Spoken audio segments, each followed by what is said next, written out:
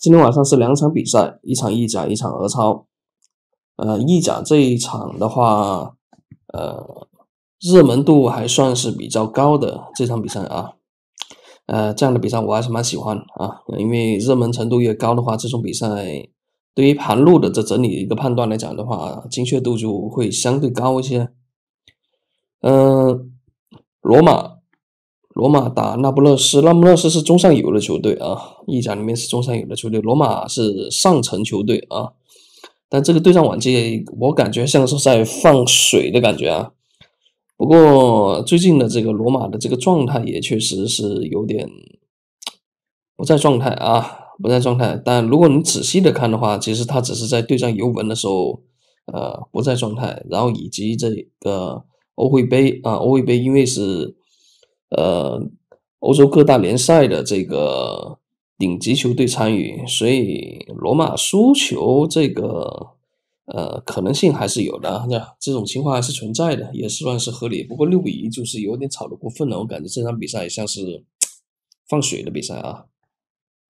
啊，那我们回到主题来，呃，双方的话，一个罗马主场的话胜率还是蛮高的，然后那不勒斯客场的这个胜率也是相当的高，呃。对战往绩不占优罗马，那我们来看一下这个状态。状态上来看的话，罗马也不占优啊，双城不占优的情况之下，我们来看一下那不勒斯的这盘怎么样。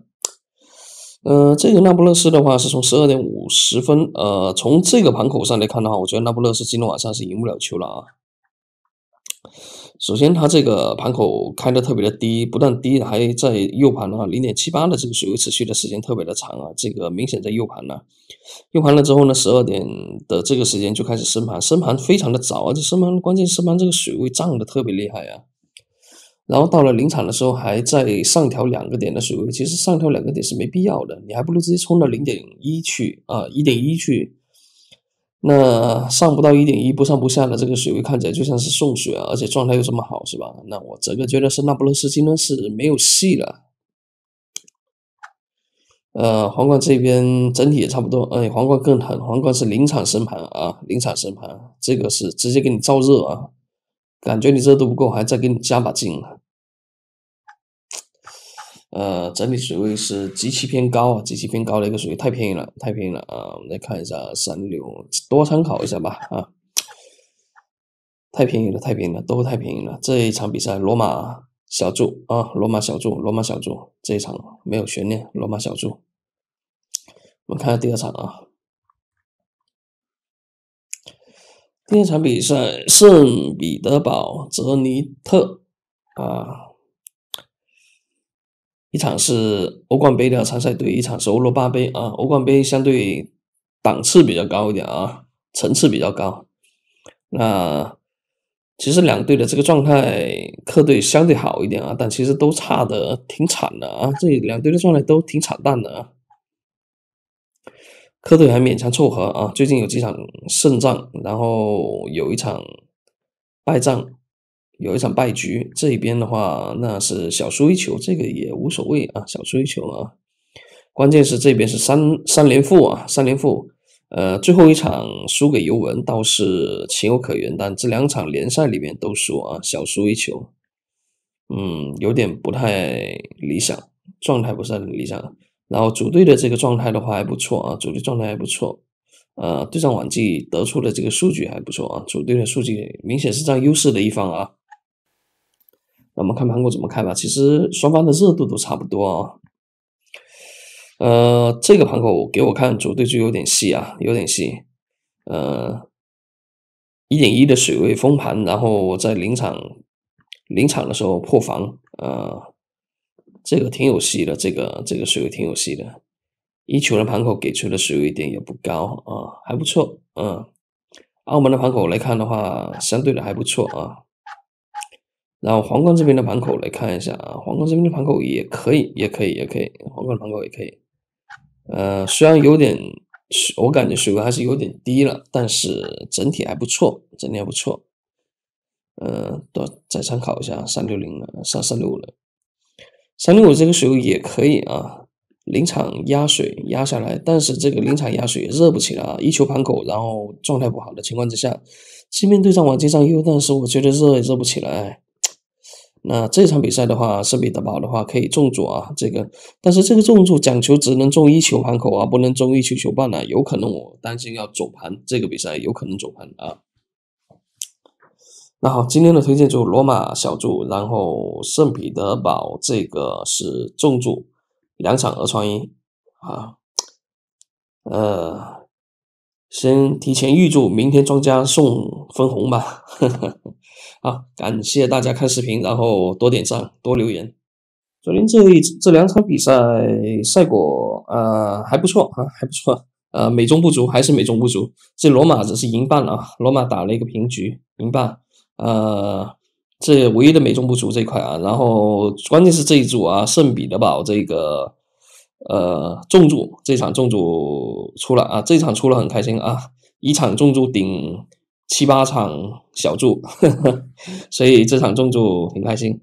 呃，还有一个串，还有一个小串啊。这小串不是二串一全过啊，主要是罗马这场走了一个平手，只走了一个平手。以为我以为罗马能够直接赢盘呢，啊，直接全赢，直接直接赢球比赛。啊，不过这个七比一也确实是在我意料之外啊。这个发力发的有点狠呢，这发力，我还以为只是小胜一球，有可能会走盘的这个概率啊。但是这个七比一确实很牛逼啊。啊，这个发力发的有点过，有点夸张啊。呃，再走一下吧，这两场好久没有给大家做赛后的这个详细的分析，我们还是走一下啊，走一下。圣彼得堡的话，这场比赛呃，整体上来看的话，就是两队的一个状态是怎么说呢？这个这个状态其实，如果你要单纯是从这个状态上来看，可能是这个主队会比较差一点，但实际上主队是一个欧冠杯的一个一个球队啊。它的级别是要比这个欧罗巴杯的球队要高出，直接高出一个级别啊，高出一个大级别来的。那整体上来讲，而且这个圣彼得堡的话，它本身就是这个俄超里面的常年班霸啊，而且这种班霸还是第一、第二名的这样一个位置的定位啊。那整体看的话，其实主队的这个呃整整个球队的一个底蕴是完全是可以把客队啊踩着打的啊，压着打的。然后状态上的话也能体现出这一点。状态上的话，整体一个状态上来看的话，特别是近期一个状态，主队的优势还是能体现出来。而关键的一点是在于这个盘口啊，虽然基本面上来看的话，其实两队的一个热度，呃，差距不会太大，但是盘口就直接体现出来一点是什么？盘口这个一点直接体现出来就是主队上的一个盘子上的特别的给力啊，这盘上的特别的给力，然后。临场有一个水位的一个小小的调节，这个调节不会引起一个整体的一个大的一个变化，就不会对这个盘口的一个趋向性有一个大的变化。那么这个调节的话，就可以视为一个减压啊，筹码赔付的一个减压的调节。虽然是零点零二的一个水位调节，但是对于一个操盘手来讲，他可能的提成就刚好就是这个数字啊。一场比赛下来的一个整体胜负提成的话，就差不多就这个数字啊。所以这个调节的话是很。合理的一个条件啊，这个从澳门的盘口上来看就可以看出这一点了。至于呃这个其他公司的一盘口的话，就是整体看什么呢？也就是看一个水位有没有这个水位异常啊。那整体来看的话，这个水位还是不算异常啊，这水位还是比较合理的一个水位。一球盘的盘口的话，一个水位比较合理，就算是临场把这个水位给压下来。对于他这样的一个状态上来讲，能在一球，而且把把这个水位压低的情况下来看的话，综合分析其实也不热，主队不热，所以主队啊值得一搏，值得一搏啊。呃，罗马这一场的话是主要是客队太便宜了，实在太便宜了。虽然客队这一场比赛呃没敢重注，因为这种这种比赛从一个数据的基本面上来看的话，其实。如果你不了解罗马这支球队的话，那单纯从数据面上来看的话，这个强弱的悬殊性是很大的。但你仔细的看了一下，其实罗马是跟这个尤文拼的时候拼输了一局，然后呢，他又是打这个欧那个欧会杯的时候输的。欧会杯因为是每个联赛的顶级球队都在搏杀，那这样的情况的话，呃，双方的一个实力的差距不会是太大。那输的话也在情有可原，这两场球赛其实输的人是情有可原的。如果这两场球赛不输的话，那两队的一个状态的话其实是差不多的，只是在对战往绩上来讲，客队还是比较有一些优势啊，近期的一些优势还是体现出来。那底蕴上来讲，罗马也没那么差啊。那我看的就是罗马今天呃，应该是一个守防守为主的一个打法，也确实是这样一个情况啊。打了一个防守，呃，防守反攻吧，应该是这样讲吧，稳中求胜。但是他就是一个防守啊，防了一个整个晚上，那就没那就没辙了嘛，是吧？但这支球队的话，罗马确实是给我一个比较好的一个信心，只是不敢重注这种比赛，因为数据层面的一个强弱悬殊比太大了，拉锯的太大了。这种比赛的话，一般在我的理念上来讲的话，基本上也就是直接定位在一个小注的范围之内。啊，不过它的一个稳定性还可以，那这样的话就加上一个串啊，嗯，整体上来讲，也就是这么回事吧啊。